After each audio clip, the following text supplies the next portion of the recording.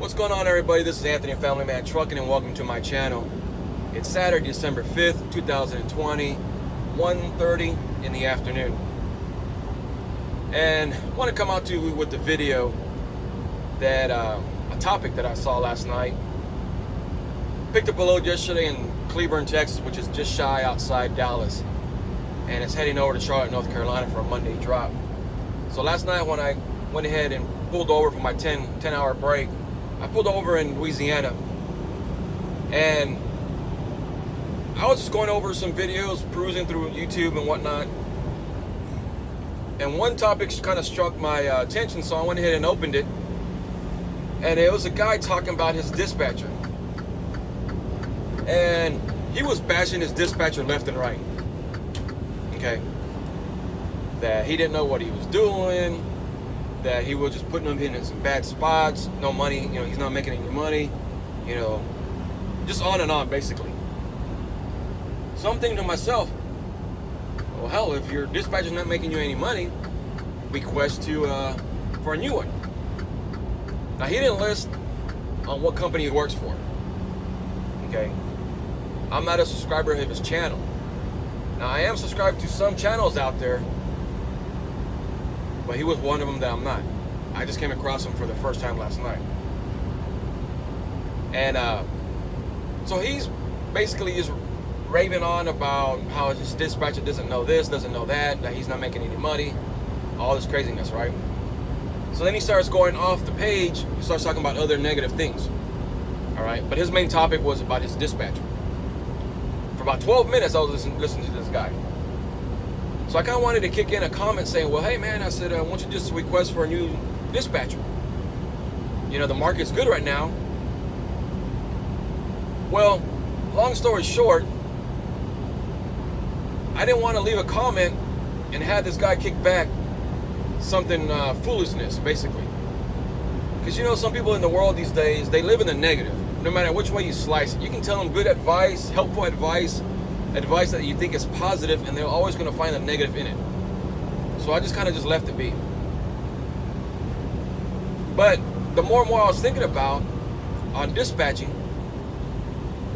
when you're in trucking, and I understand that in business, you always want to cut out the middleman. You want to cut the middleman out because you want to make more money, right? But in this case, in this industry, a dispatcher can be very, very helpful.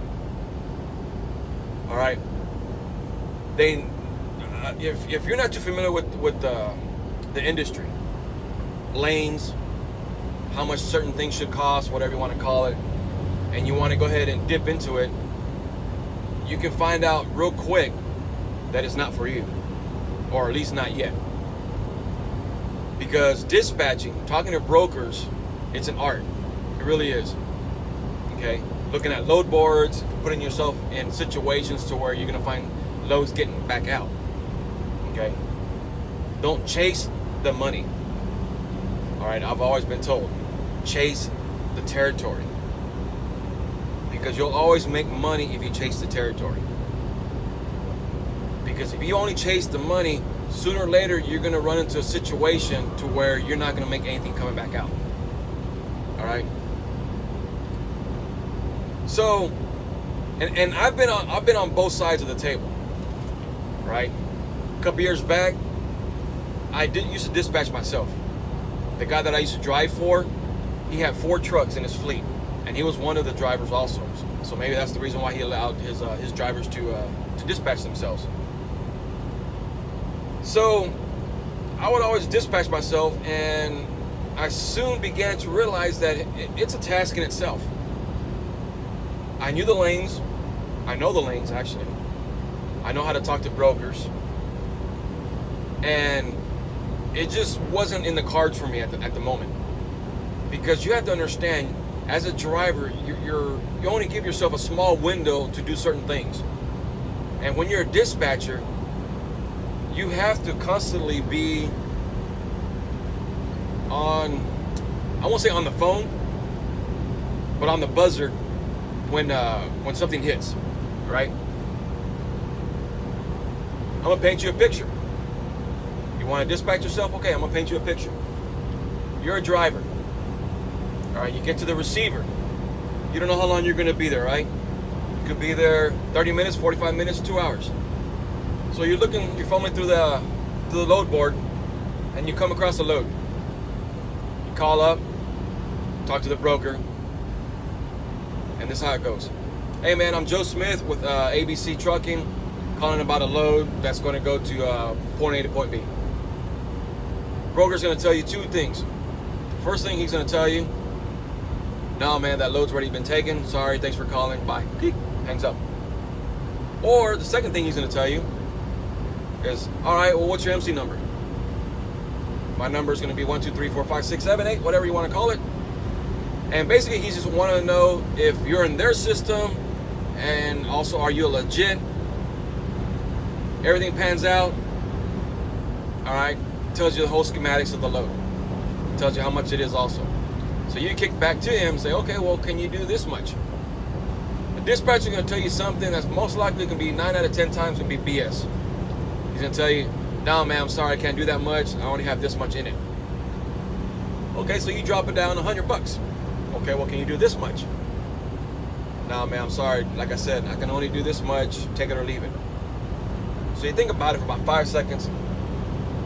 Now, I'll call you back maybe like in three minutes. All right? hang up, which is probably the, one of the mistakes you can do right there. So then you call on load B, right? Call on load B. Go through the whole spiel again. Hey, my name is uh, Joe Smith. I'm with ABC Trucking, calling about a load from, from point A to point B.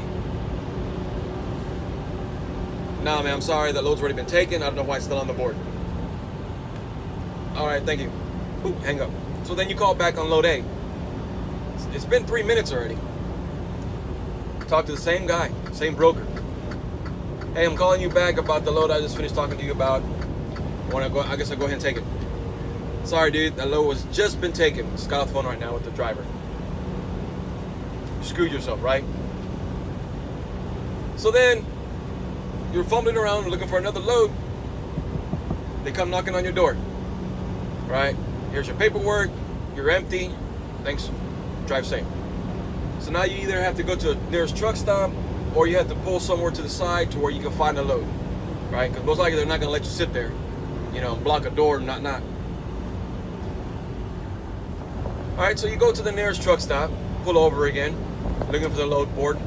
By this time, you already burned, depending how far you have to drive, where you have to go, another 15, 20 minutes, right? So now you have to park, calling around, this and that, back and forth. Now slim pickings, all right? Unless something magical pops up. So all that time you're sitting around looking for a load because you just want to cut out the middleman. All right? A dispatcher does all that behind the scenes while you're driving. Now, I'm not going to sit there and say all dispatchers are good and this and that back and forth. I've had my share of uh, bad dispatchers. Okay? I've just been fortunate so far to have a dispatcher that works well with me. So, anyways, like I was telling you, a dispatcher is someone you want to have in your corner. All right? Paint you a picture. Another one. Last Thursday, right, was Thanksgiving. Went home Wednesday. I had already scheduled myself to be off till Monday. Four day off, right? So Friday comes right after Thanksgiving. He calls me about one o'clock in the afternoon on Friday. Hey Anthony, man, how you doing? How was your Thanksgiving? Right, small talk. Hey, well, I just have a came across a load. Wanted to talk to you and go over with it. So it tells me the whole situation with the load, where it's going. It's going to Houston to St. Paul, Minnesota, dropping off Wednesday. It's two two day drop. Somewhat light, paying real good. Going to a good area. All right, let's do it. All right, so now I know what I'm doing that Monday morning. Finish up my weekend with my family, hanging out. We go shopping a little bit. Get ready for Monday morning. Monday morning, I go to the load, pick it up, start heading out. That Monday afternoon, he calls me. Hey Anthony, how you doing, man? How was your weekend? Good. All right, man. I got a load. I want to go over with you. Picking up in the same area Wednesday morning after you drop off the one that you're under now. Tells me the whole situation.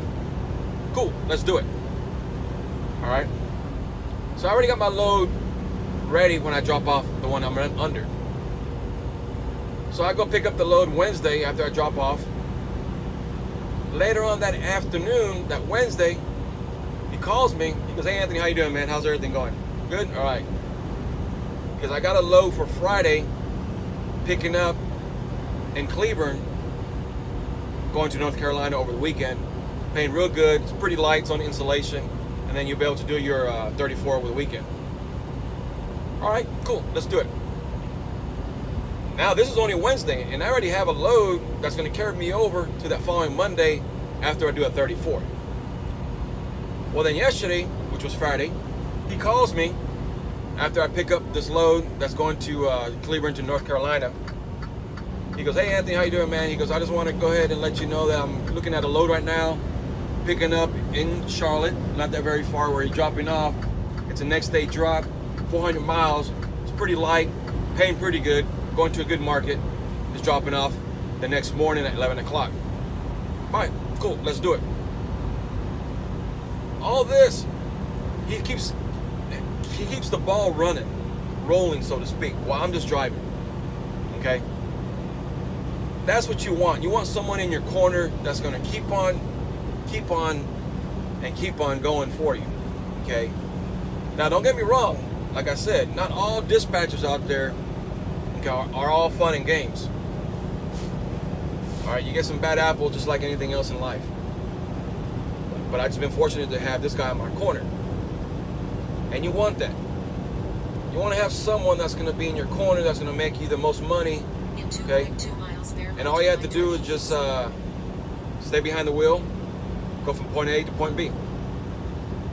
So listening after this guy last night, ramble on for about 12, 13 minutes, kind of like what I'm at right now, he was just going negative after negative after negative, you know. But like I said, in this industry, having a dispatcher in your corner is a, is a good thing. Now here at MGR Lease, like I said, they have a dispatching team, a dispatching department. Me, on my case, I can't speak for the other drivers. I can speak for two other drivers that we talk on a pretty good basis, and they make good money just like I do. But with that being said, guys, here at MGR Lease, we do make good money, and I'm not trying to solicit them. But I'm just telling you, from, from on my side, my dispatcher, he takes care of me.